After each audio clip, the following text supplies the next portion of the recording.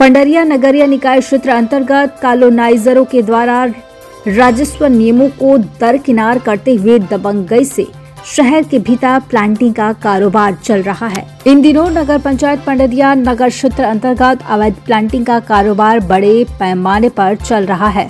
Coloniser सस्ते दामों में आदिवासियों की कृषि भूमि खरीद कर और स्वयं भूमि स्वामियों के द्वारा अवैध प्लांटिंग कर बगैर डाइवर्सन बगैर नगरीय निकाय से अनुज्ञा अनुमति की खरीदी बिक्री की जा रही है।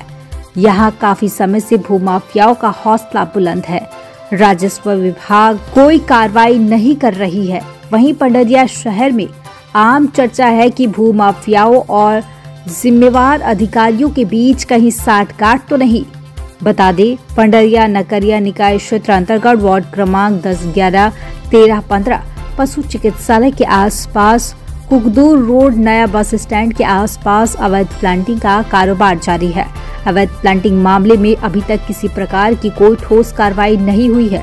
अगर कुछ एक अवैध प्लांटिंग पर कार्रवाई भी हुई है तो महज कागज़ी खानापूर्ति कार्रवाई की गई है, जबकि अवैध प्लांटिंग का काम पिछले एक दो सालों से दबंग कॉलोनाइजर निर्भीकता से अवैध कारोबार चला रहे हैं। विश्वसनीय सूत्रों से मिली जानकारी के अनुसार कॉलोनाइजरों के द्वारा कृषि उपयोग की भूमि, जल स्रोत, तालाब, नदी, नालों को पाट कर प्लांटिंग कर नगर पंचायत पंडरिया एवं राजस्व विभाग से बगैर अनुज्ञा अनुमति के खरीदी बिक्री कर रहे हैं।